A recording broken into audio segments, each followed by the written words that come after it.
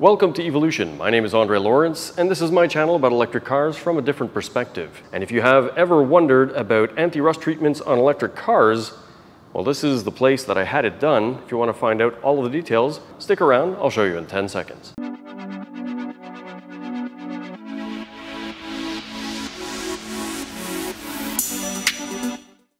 Over the last three and a half years of me being an electric car owner, this being my second electric car, there's always the question that comes around when winter points its ugly head, as it has now. It is freezing. And new EV owners always ask the question, should I or can I have my electric car rust-proofed or anti-rust treated? Now with regards to Kia Canada, if you go to a dealership and you ask them, can you have your car treated and it's an electric car, they will say, no, you'll void the warranty. Well, that's a lie. Sort of. The warranty that you'll void is the rust or rust proofing warranty from Kia. But in all honesty, their warranty says that if it perforates, they'll fix it. By then, it's too late. I don't want my car to rust. So I would rather have my car treated, and that way it doesn't rust.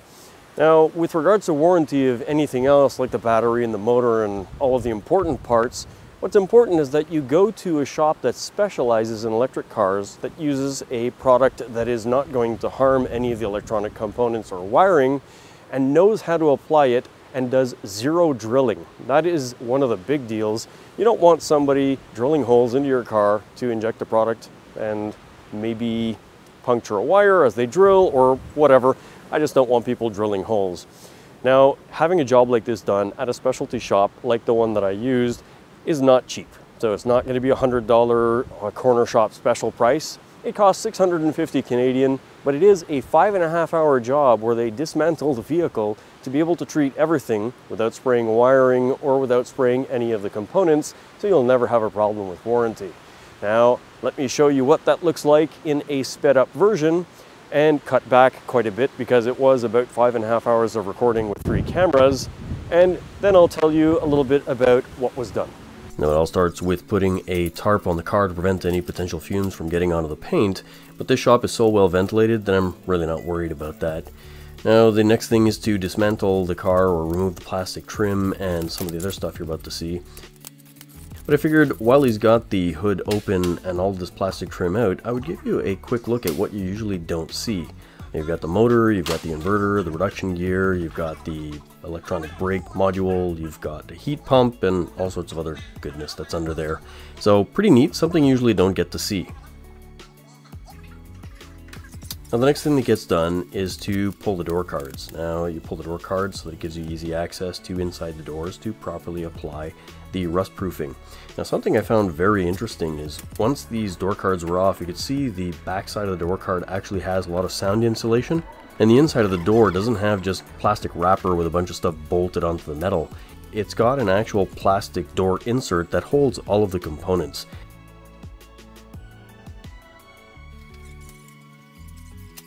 Next thing is this door sill. Now the door sill plate must have been made on a Friday because none of the plastic tabs that hold the little shiny bit in are actually bent over. Now the other three were okay, uh, but I thought it was quite interesting that this one has none of these plastic tabs. And you just pop it up and you can remove it completely.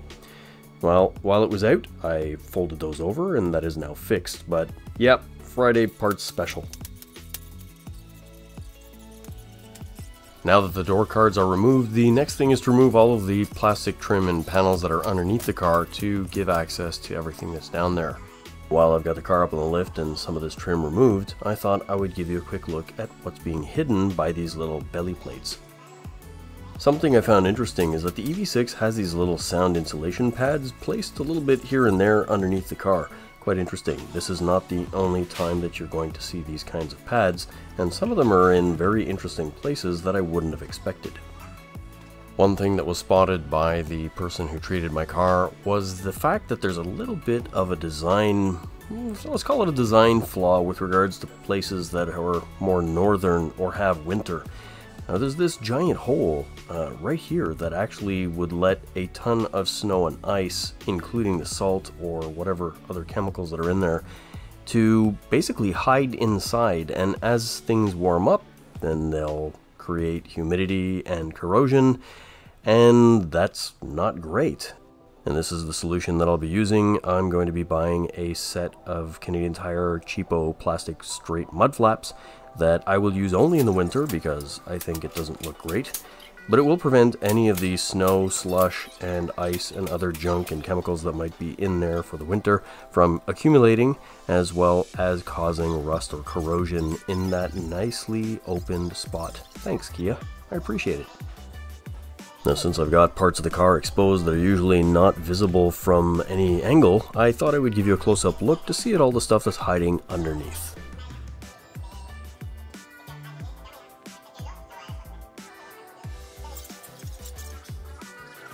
The next thing to do is to remove the wheel well liners or the inner fenders. Essentially these are plastic guards that protect the car from getting junk splashed around inside the body.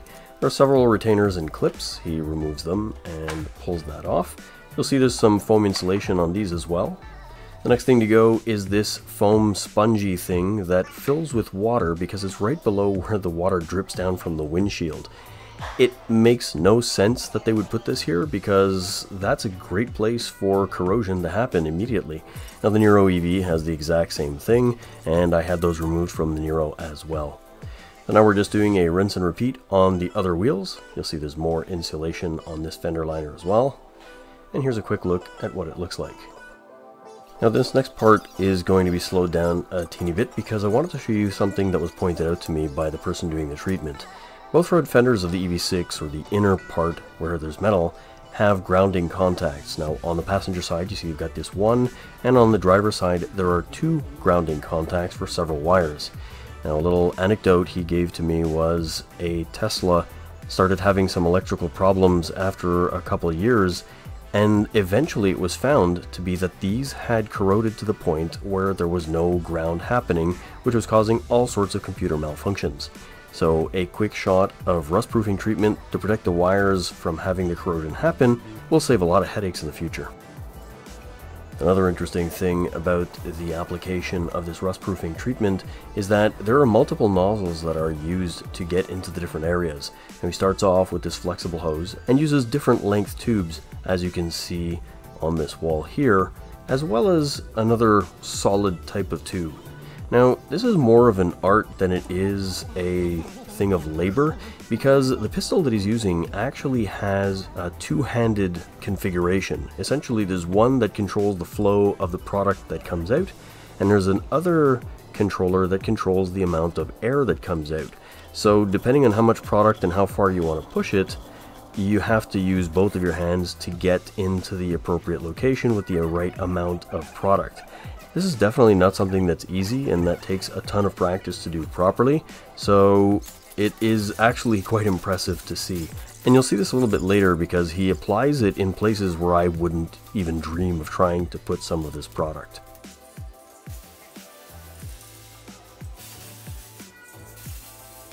Now just before we get to the main part of the application, this is all of the little fastidious things that have to be done before. You'll notice that he injects or puts the product into every single opening or structure that he can have access to, whether it's a crash bar, a crash tube, a suspension part, or anything that he can get his tube into, except for anything that's related to electronics or motor or battery or cabling. So this is a very time consuming job as you can tell, but it does get applied everywhere and will offer incredible protection over the years.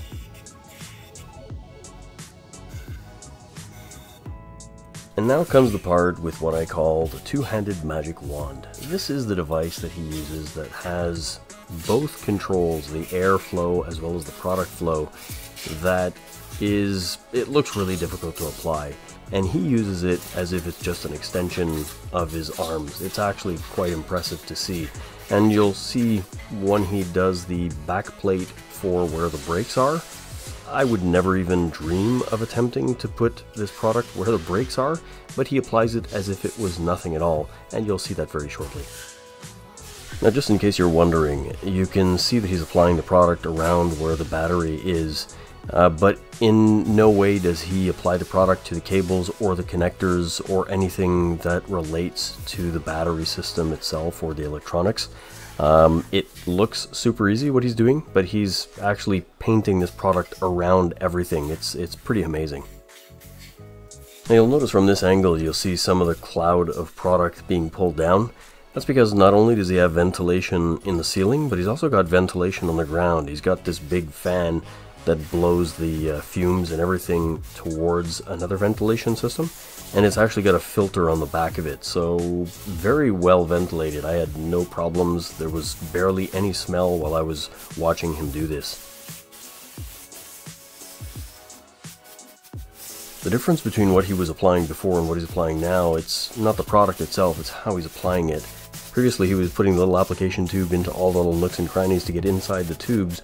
Well now he's applying the product to the outside of any of the structures or tubes that are there or anything that could corrode that would be bad to have corrosion on.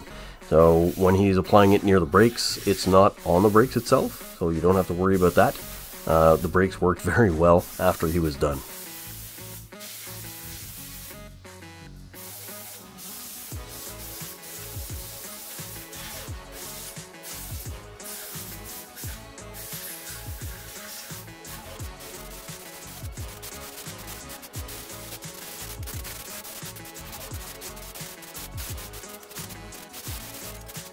Another small detail, anywhere there were some pins pushing through the body or there were seams, he made sure to treat and to have proper protection. Now, this is the part that I was mentioning before where I wouldn't have ever tried putting this product near the brakes. Well, he applies it as if it was nothing, and this is on the back plate, in other words, this thin piece of metal that usually rusts after several years. Well, the back plates on my EV6 are extremely well protected now.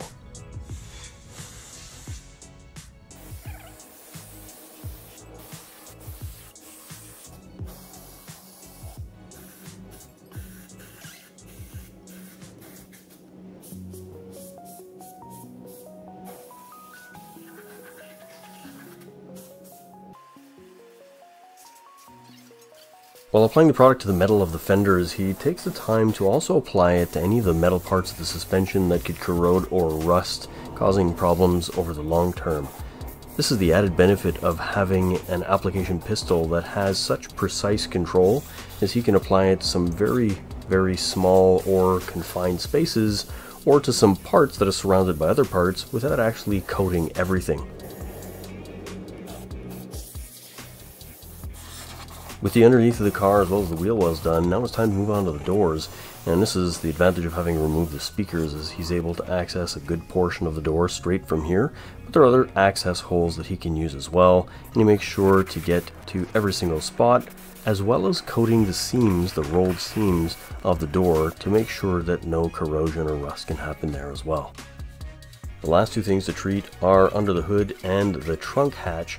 Now, even though the hood is made of aluminum, he treats the inside of the hood structure with his flexible hose because aluminum can also corrode. It won't rust, but it'll turn white and flaky and not be very nice after a few years.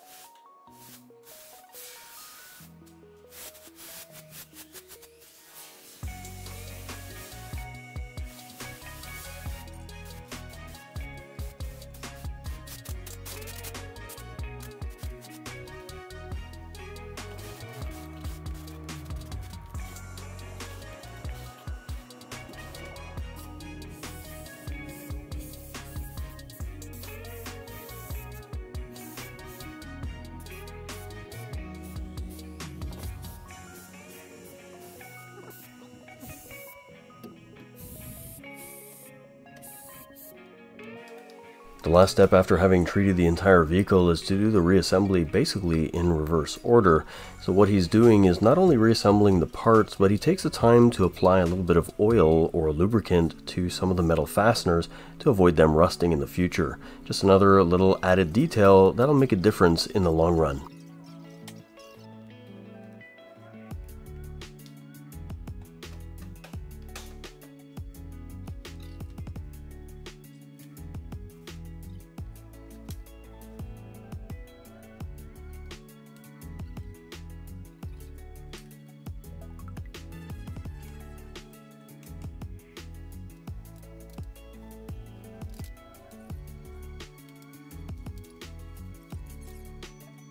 I really have no idea why, but watching him reinstall the panels underneath the car for me is extremely satisfying, so I figured I would leave this in the video.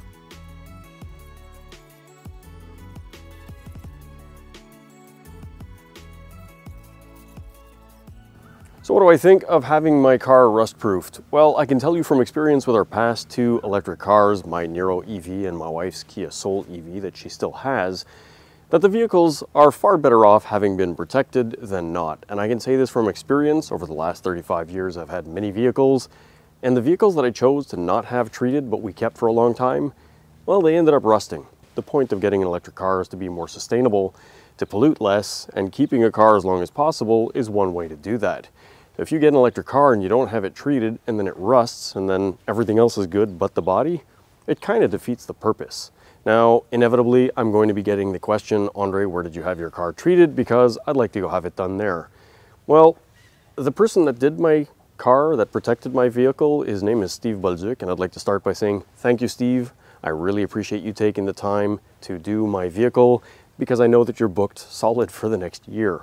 And that brings up the point is, he asked me to make this video to help educate people not to get business, but to help them understand that you can rust-proof an electric car if it's done properly.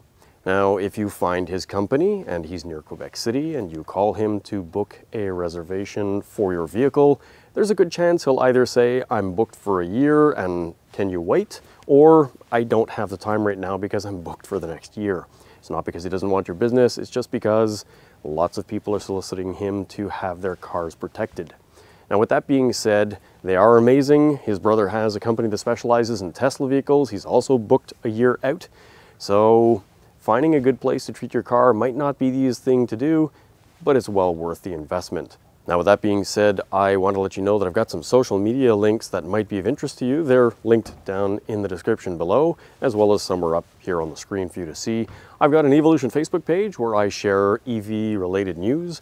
I've also got an Evolution Instagram account where I post EV and non-EV related pictures. I've also got my evolution.ca website where I have all the products that I've purchased for myself and I've reviewed a good portion of them as well as a shop where you can buy an Evolution t-shirt if that's something that interests you. It helps support my channel. And I've also got a Ko-fi account, so if you feel like buying me a coffee on Ko-fi, well, you can do it there. And if you already have, thank you very much. I really do appreciate your support. If you like this video, please consider clicking on that thumbs up button because it tells YouTube that you like it and it tells the algorithm to share the video with other people which kind of gets to the point that this channel helps educate people about electric cars and the more people I can show my videos to, well, the better it is. So if you do click on that thumbs up, thank you very much. I really appreciate it. Now, if you really appreciated this video, then you could click on that subscribe button and the notification bell because I've got absolutely no posting schedule and it'll let you know when my new videos come out. With that being said, thanks for taking the time to watch my video. Now, the other part is who do you have do the work and will it void the warranty? Nah, see all that's crap. Now, what exactly do I mean by a company that specializes in rust-proofing an electric car? Well, if you go to your corner shop that charges you 99 bucks and you're in and out in 15 minutes, for the last three and a half years, inevitably when winter points its ugly head as it has now, and it is freezing cold, there is an enormous, enormous amount, that didn't work, Wow, it's cold. Whew. Oh, it's inevitable. Inevitable? Inevitable. Okay.